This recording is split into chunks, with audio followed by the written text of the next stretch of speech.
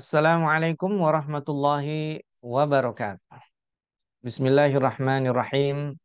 الحمد لله الحمد لله الذي هدانا للإسلام وأكرمنا بالإيمان وفضلنا بالقرآن. اللهم صل وسلم وبارك على نبينا محمد صلى الله عليه وسلم وعلى آله وأصحابه الكرام. أما بعد Sahabat Asa yang berbahagia, ma'asyiral muslimin wal muslimat, rahimani wa rahimakumullah. Alhamdulillah bersyukur kepada Allah Subhanahu wa taala pagi eh, pada kesempatan kali ini kita diperjumpakan kembali dalam serial Pustaka Asa dan kita kembali di program Quranic Study Series. Kita sampai pada serial studi Al-Qur'an yang ke-58 tanpa terasa.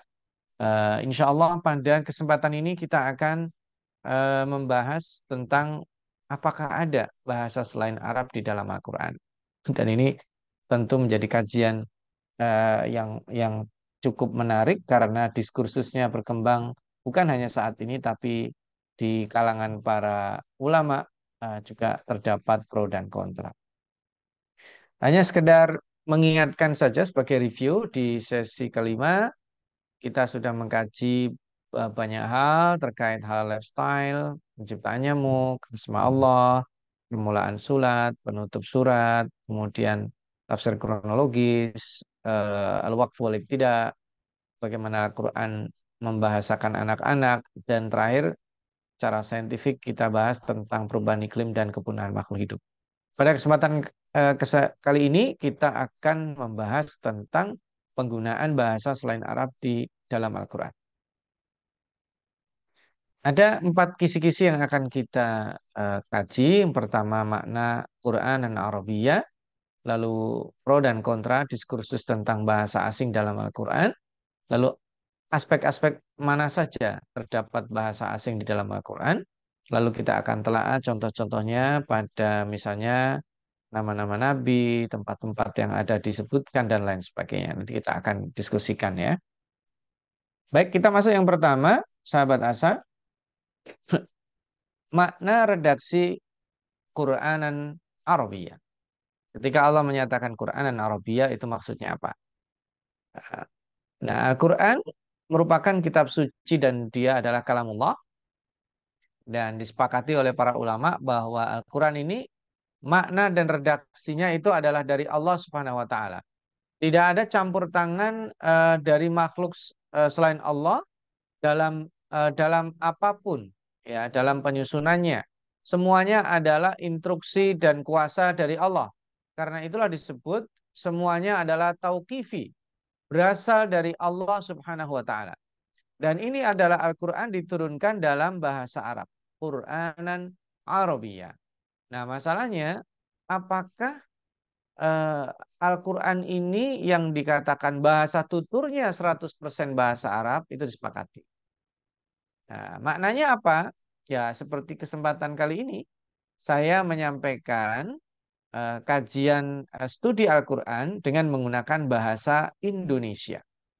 Nah, apakah 100% bahasa yang saya gunakan ini adalah Indonesia? Nah, itu yang menjadi uh, diskursus perbedaan persepsi. Apakah ada lafaz yang saya gunakan selain bahasa Indonesia? Jawabannya tentu ada. Maka demikian halnya, apakah ada di dalam Al-Quran kata atau istilah yang itu aslinya bukan bahasa Arab? Nah, ini para ulama uh, memiliki perbedaan pandangan. Ya.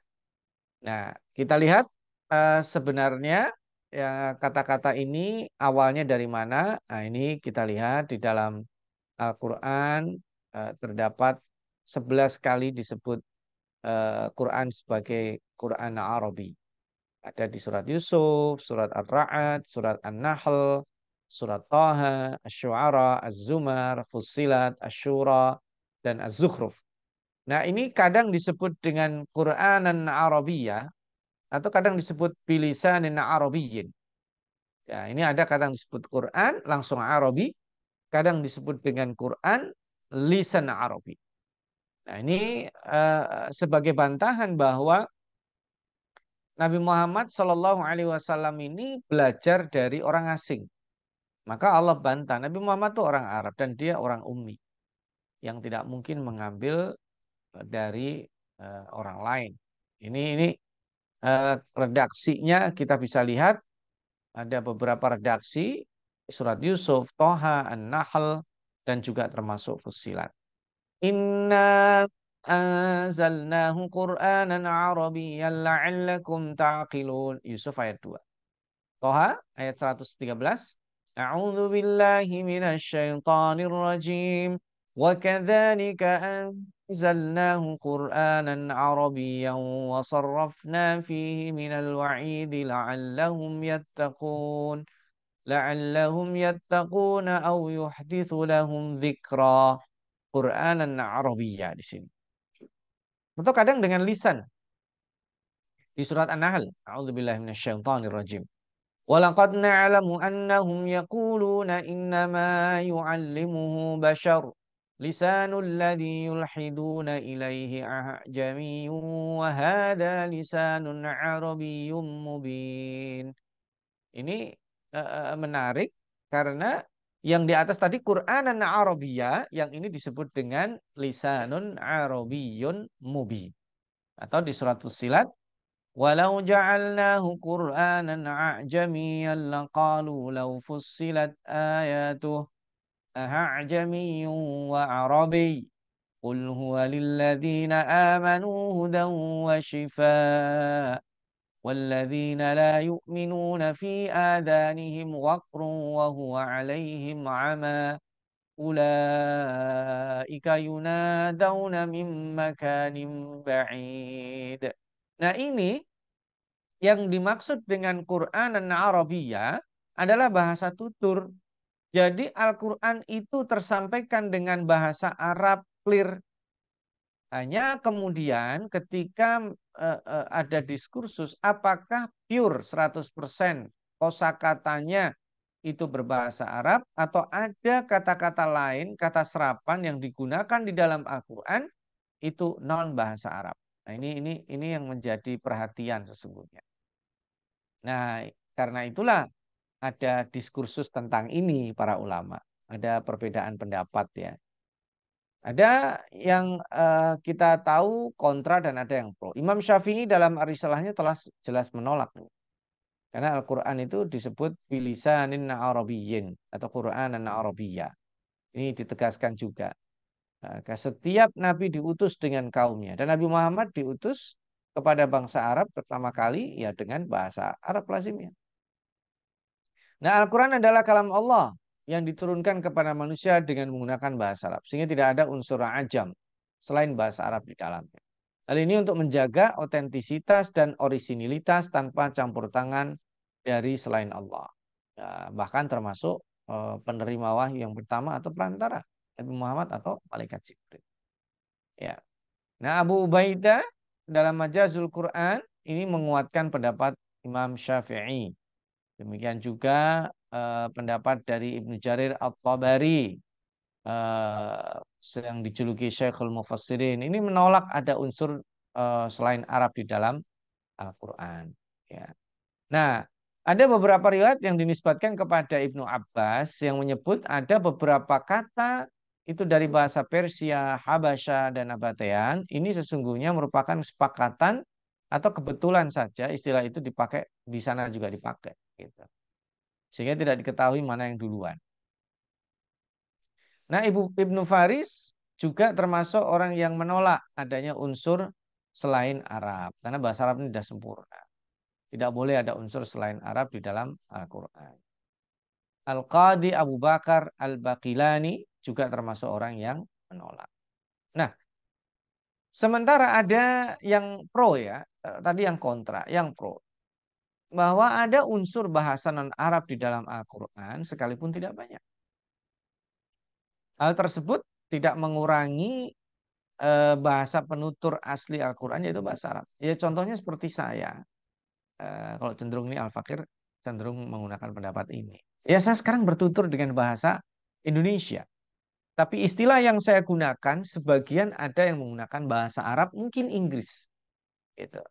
Nah ini menandakan bahwa itu tidak mengurangi makna bahwa saya berbicara bahasa Indonesia. Demikian juga eh, ketika Al-Quran diturunkan dengan bahasa uh, Arab. Ya. Nah, ini pendapat Ibnu Abbas, Mujahid, Ikrimah, dan pakar bahasa. Lafaz-lafaz asing diserap dalam bahasa Arab ini bisa dimaklumi. Ya, dan itu wajar. Ya. Nah, dalam bahasa Indonesia juga begitu. Seperti istilah ridho, sabar, tawakal, istiqomah. Ini merupakan serapan dari bahasa Arab. Yang kemudian ketika menjadi istilah bahasa Indonesia artinya kadang sedikit bergeser. Ya. Nah, adanya unsur bahasa asing ini yang pertama tidak banyak, yang kedua tidak akan mengurangi sakralitas dan otentisitas Al-Quran. Nah, dan ini menandakan Al-Quran e, multidisiplin, mengajarkan berbagai macam ilmu. Karena itu integrasi e, integrasi keilmuan dan keislaman itu sangat-sangat mungkin dilakukan. Ya. Imam Asyarbini juga menengahi ya, jadi begini. Eh, istilah-istilah yang disebutkan dalam Al-Quran ini menjadi istilah yang memang di, dikenal oleh bangsa Arab. Jadi orang-orang yang mengatakan tidak ada bahasa asing itu dianggap itu istilah dikenal juga dalam bahasa Arab. Gitu. Jadi memang sudah diarabkan. Atau ada unsur lafaz dari bahasa asing ini melihat asal lafaz tersebut diambil dari bahasa mana. Ya. Atau asal-asal itu tidak diketahui sehingga tidak bisa dikatakan sebagai unsur asing gitu ya. Nah, sementara Imam Ash-Shatibi menengah ini juga dengan mengatakan bahwa makharijul hurufnya eh, sulit disebutkan oleh bangsa Arab karena itu serapan selain Arab. Nah, istilah-istilah nanti kita akan tahu. Ya, untuk disebut sebagai bahasa Arab, pertama dikenal digunakan bahasa bangsa Arab. Yang kedua bisa dipahami dan mudah. Yang ketiga merupakan lafaz atau kalimat yang sifatnya umum dan lazim dipakai, bukan dari susastra ya. Susastra susah. Imam Jaluddin Asyuti ini sampai mengkhususkan ya pembahasan ini dalam sebuah buku beliau Al-Muhadzab fima waqa'a fil Qur'an min al-mu'arrab. Ini penekanannya pada bagian ini. Dan ini di, diulang juga di dalam buku beliau yang terakhir yaitu uh, Al-Itqan, buku, buku Jalaluddin Asyuti ya. Menurut beliau tidak bisa dipastikan. Jumlahnya berapa nggak bisa dipastikan. Tapi ada. Ada yang mengatakan puluhan, ada yang mengatakan ratusan. Dan sahabat asa jangan ke mana-mana. Insya Allah nanti kita akan sambung melanjutkan tentang diskursus ini setelah jeda singkat berikut ini.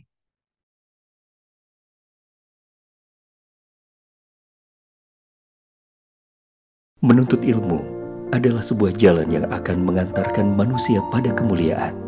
Dengan ilmu, manusia mendapatkan panduan untuk berpikir dan bertindak. Untuk itu, Asa TV Indonesia menghadirkan Pustaka Asa, sebuah ruang pembelajaran sistematis bersama para pakar di bidangnya. Quranic Study Series, Quranic Life, Prophet Manner, dan berbagai bidang keilmuan yang dibahas dengan cara menyenangkan. Pustaka Asa hadir setiap Sabtu jam 19.30 waktu Indonesia Barat. Hanya di Asa TV Indonesia. Baik sahabat Asa, kembali lagi kita lanjutkan segmen berikutnya. Jadi kalau di, diminta memilih, eh, saya lebih suka memilih bahwa memang ada unsur asing di dalam Al-Quran.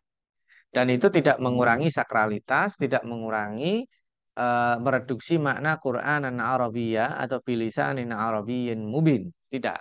Karena bahasa tuturnya disepakati sebagai bahasa Arab. Kalau ada unsur asing dan itu merupakan kelaziman karena uh, Al-Quran berinteraksi dengan semua manusia. Semua uh, bahasa yang ada di mana-mana. Jadi sangat memungkinkan. Dan kita berinteraksi dengan orang asing wajar dan saling memengaruhi istilah-istilah yang kita gunakan. Nah, aspek apa saja di dalam Al-Quran ini terdapat unsur atau kosakata bahasa asing. Yang pertama, eh, nanti tentu nama orang, nama nabi ya, nama tempat, nama alat, nama makanan, minuman, dan hal yang terkait dengan surga atau neraka atau peristiwa hari kiamat. Baik, ini dia. Pertama aspek nama, aspek tema maksudnya. Ada nama-nama tokoh nama nabi atau tokoh selain nabi, nama-nama tempat, Ya, ini lokasi, nama kota, negeri, atau kabilah non-Arab yang disebutkan dalam Al-Quran. Yang ketiga terkait hari akhir, seperti buku catatan amal, nama neraka, nama surga, dan yang lainnya adalah peralatan atau benda-benda yang dijumpai manusia sehari-hari. Atau nama binatang, dan seterusnya. Baik, kita ke nama tokoh. Nama tokoh ini uh, uh, bisa juga nama-nama uh, nabi dan uh, rasul. Dan ini nama nabi dan rasul ini yang uh, diutus untuk menyampaikan risalah sangat banyak. Ya, hanya 25 saja yang disebutkan secara eksplisit. Uh, dan Imam Masyuti menukil pendapat bahwa hanya ada empat nama nabi saja yang berasal dari Arab. Wah, menarik ini. Berarti ada 21 nama yang dia namanya itu bukan dari bahasa Arab. Bagaimana dengan tokoh-tokoh selain Nabi, baik tokoh protagonis atau antagonis, ada nggak yang selain nama Arab? Oh ada. Uh, nama Imran, nama Maryam, nama Lukman, Fir'aun, Korun, Haman, Harut, dan Marut ini adalah tokoh selain Nabi yang uh, tidak uh, menggunakan bahasa Arab. Jadi dia berasal dari bahasa lain. Nanti kita akan lihat. Yang kedua adalah nama-nama tempat dan e, kabilah. Nama-nama tempat seperti nama kota, wilayah, atau negeri yang dikisahkan di dalam Al-Quran.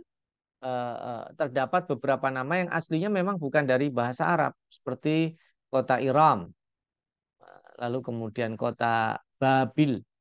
Nah, ini e, istilah non-Arab yang kemudian dikenal Eh, dalam bahasa Arab dengan sebutan itu dan kadang juga tidak fasih. Ya kurang lebih sama lah kalau misalnya orang Jepang menyebut menyebut merek yang sulit dipasarkan di tempat dia, dia ambil uh, nama yang familiar di situ, bukan nama branding aslinya. Kurang lebih ya uh, hampir sama. Ya orang Jepang nyebut produk apalah gitu ya atau orang Arab nyebut produk apa yang itu nyebut huruf P aja susah misalnya gitu. Jadi itu nama-nama tempatnya uh, berasal dari luar. Nama kabilah juga demikian. Ya, julukannya ketika di kaum ini mendustakan itu sebut ya seperti uh, istilah-istilah yang ada di dalam kisah Ashabul Jannah atau Ashabul uh, Kahfi dan seterusnya. Nah, yang ketiga hal-hal yang terkait dengan hari kiamat. Surga, neraka seperti Firdaus, Aden, Tuba, Jahanam itu aslinya bukan bahasa Arab. Termasuk kondisi di hari kiamat seperti matahari yang lenyap, kuwirat, catatan amal, kitab merkum, nikmat penduduk uh, surga berupa istibrak, sundus, dan jabil ini aslinya bukan dari bahasa Arab gitu ya. Atau kondisi neraka yang disebut suradir gitu ya.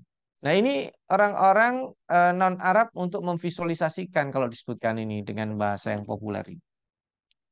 Nah, atau hal-hal lain seperti peralatan harian yang dijumpai manusia dalam kehidupan hari-hari, nama-nama binatang ya yang dijumpai, nama-nama jenis buahan, tanaman atau tumbuh-tumbuhan, perhiasan dan sebagainya, ini terdapat unsur selain e, bahasa Arab.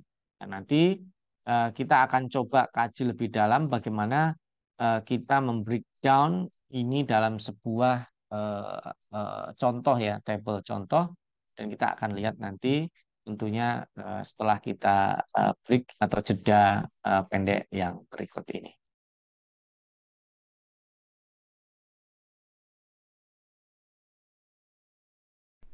Saat hari Senin tiba, banyak orang yang merasakan malas dan tidak bersemangat menjalaninya. Tapi sekarang tidak boleh lagi terjadi. Tonton saja I Love Monday di Asa TV Indonesia. I Love Monday menghadirkan pembahasan mencerahkan dan aplikatif yang dikemas dalam I Love Myself, I Love My Job, I Love My Prophet, dan satu segmen spesial Solve with Love. I Love Monday setiap hari Senin di Asa TV Indonesia. Inspirasi keluarga Islami. Baik, eh, sahabat Asa, kita kembali lagi dan kali ini kita di segmen yang terakhir bersama contoh-contoh dan bagaimana cara kita menelaah kata-kata tersebut eh, berasal dari eh, non-Arab dengan menggunakan beberapa referensi. Ini eh, saya tampilkan dulu yang nama-nama Nabi ya. Nabi Muhammad, Nabi Adam, Nabi Idris, Nabi Nuh, Nabi Ibrahim, Ismail, Ishak, Yakub, Yusuf, Daud, Sulaiman, Musa, dan seterusnya. Nabi Muhammad, Nabi Adam, dan Nabi Idris itu eh, ada yang mengatakan dari bahasa Arab.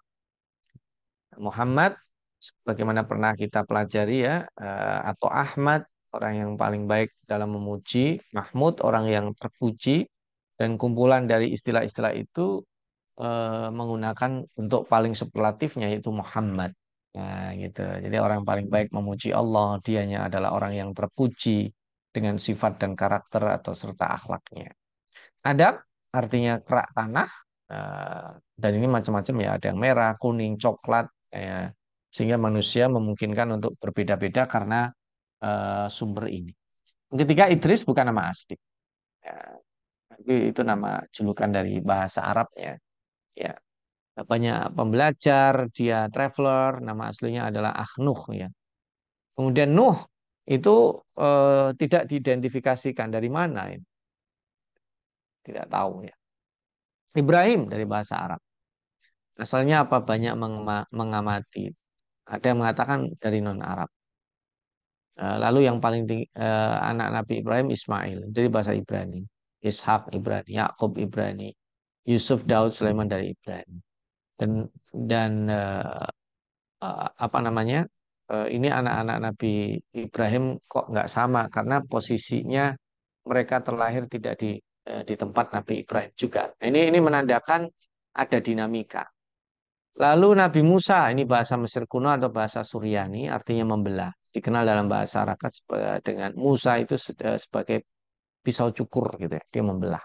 Karena ada penamaan itu terkait dengan membelah laut ya. Harun juga bahasa Ibrani artinya yang menyukai atau mendukung. Lalu ada Zakaria bahasa Ibrani atau ada yang mengatakan Arab artinya memenuhi. Yahya tidak diketahui aslinya, eh, tidak diketahui maknanya dalam bahasa Arab artinya hidup ya. Zulkifli juga julukan eh, tapi itu mengatakan dari bahasa Arab, yang mengatakan tidak ada. Ya, kemudian eh, Ayub bahasa Arab kembali kepada Allah. Uh, Ilyas, Ilyas, Lut, Hud, Yunus ini dari dari bahasa non Arab dan tidak diketahui maknanya. Isa bahasa Ibrani artinya diberkahi.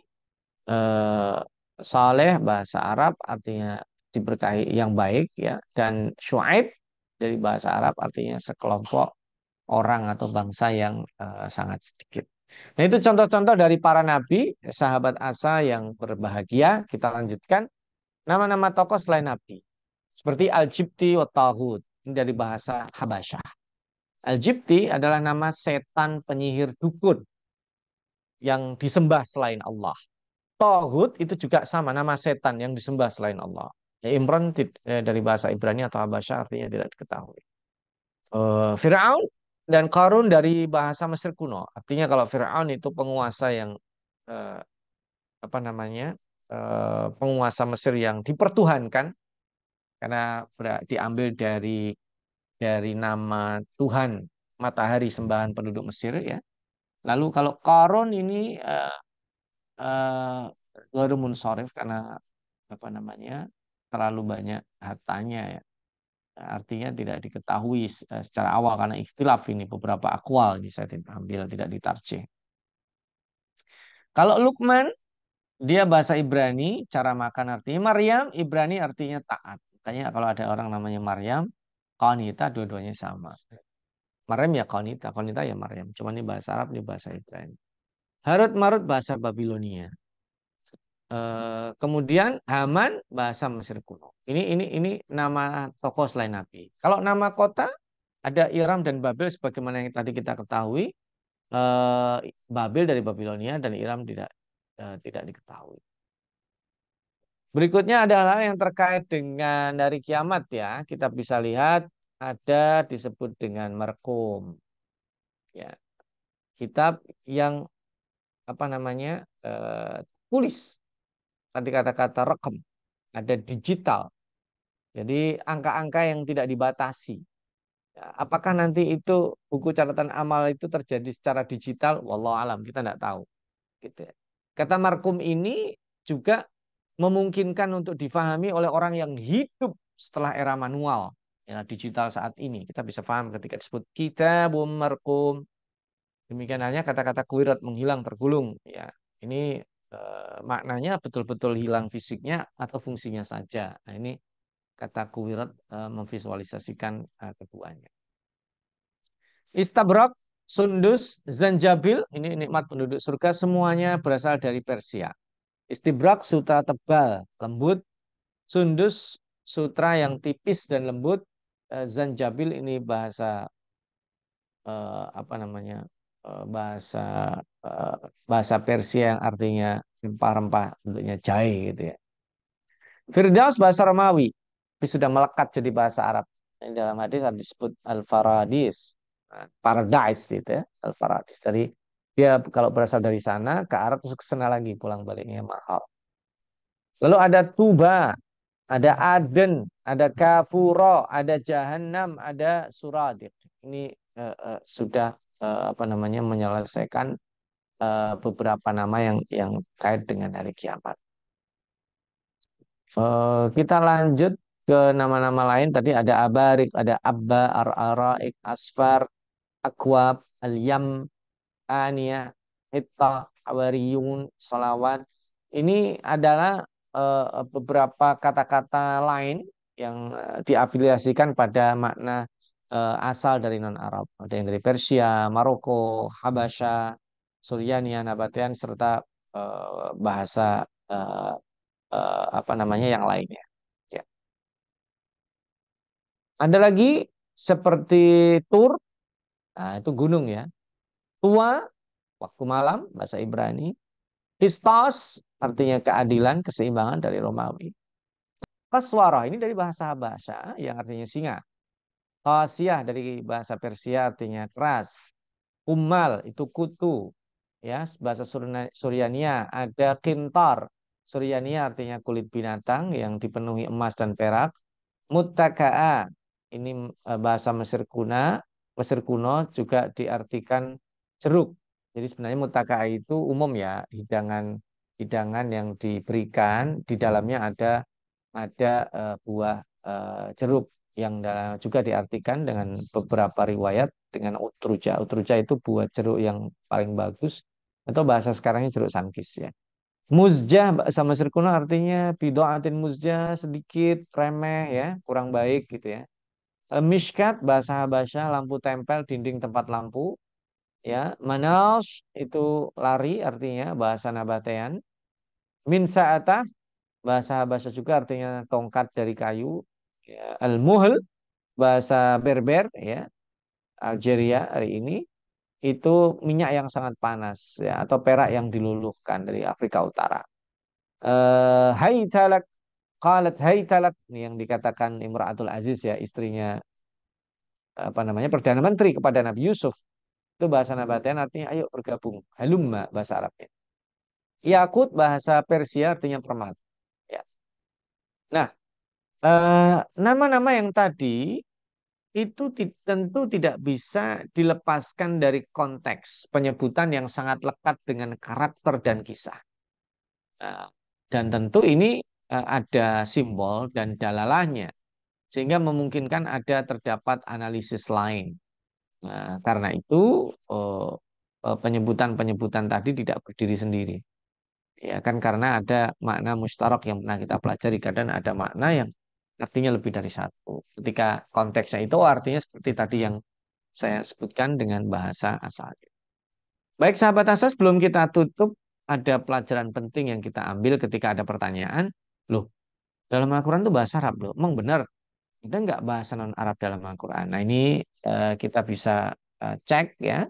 Ternyata kalau kita pakai madhab yang kedua, ada gitu. Tapi sebagai kosakata, sebagai serapan. Tapi kalau dalam bahasa tutur ya sudah menjadi bahasa Arab. Seperti tadi saya katakan, orang Arab ngomong produk-produk yang tidak berasal dari dia, Pak. Dari China, dari dari Amerika, dari tempat mana Afrika dan sebagainya. tentu dia akan sebutkan dengan uh, makharij atau lidah Arabnya sekalipun itu tidak cocok dengan kefasihan asli. Nah, pelajaran yang pertama, Quran diturunkan dengan bahasa Arab, bahasa penutur 100%. Ya. Seperti mohon maaf tidak bermaksud menyamakan, tapi pendekatan saja saya bicara dengan bahasa Indonesia, tapi ada beberapa dengan bahasa lain. Yang kedua tidak ada campur tangan makhluk. Al-Quran pure itu adalah gawe Allah redaksinya dari Allah ya dan Allah cara uh, baik dalam uh, menjaga ya. Yang ketiga ada beberapa lafaz yang berasal dari bahasa asing non Arab. Nah, dan ini tidak mengurangi otentisitas dan orisinilitas Al-Qur'an yang menggunakan bahasa Arab tadi. Eh, sahabat Asa, terjawab sudah penasaran kita? Kalau ada pertanyaan, apakah ada unsur bahasa Arab dalam Al-Quran? Jawabannya ada dua, tetapi kita ngambil pendapat ada. Gitu. Contohnya tadi aspek-aspeknya sudah kita sebut nanti bisa dicek lagi. Kalau pertanyaannya adalah eh, bahasa tutur Al-Quran ini selain Arab mungkin nggak? Jawabannya tidak mungkin karena itu mansus ada teksnya dengan penuturan bahasa Arab. Sekalipun yang dikisahkan tidak berasal dari Arab, Romawi, Habasya, tapi pengisahannya adalah bahasa Arab. Contoh uh, kalau uh, uh, seorang penulis roman atau novel meng maaf, mengisahkan kisah di Rusia dengan bahasa Indonesia, nah, tentu tidak mengurangi. Ya, orang itu apa bisa bahasa Indonesia? Oh, tentu tidak. Nah, Fir'aun uh, kok ngomongnya begitu? Apakah Fir'aun kursus bahasa Arab? Tentu tidak. Ketika istri-istri menteri mengatakan, Kulna hasyalillah, Ya, loh, ini kok bisa ngomong fasih? Itu kalau dibahasakan begitu kira-kira saking kagumnya dengan kegantengan Nabi Yusuf. Kira-kira begitu. Mudah-mudahan cukup untuk menjawab rasa penasaran kita sehingga kita semakin dekat lagi dengan Al-Qur'an yang diturunkan sebagai mukjizat yang kekal sampai hari kiamat. Mudah-mudahan bermanfaat. Mohon maaf bila ada kekurangan dan khilafan. Mari kita tutup dengan doa kafaratul majlis. Subhanakallahumma wa bihamdika asyhadu an la ilaha illa anta astaghfiruka wa atubu ilaik. Assalamualaikum warahmatullahi wabarakatuh.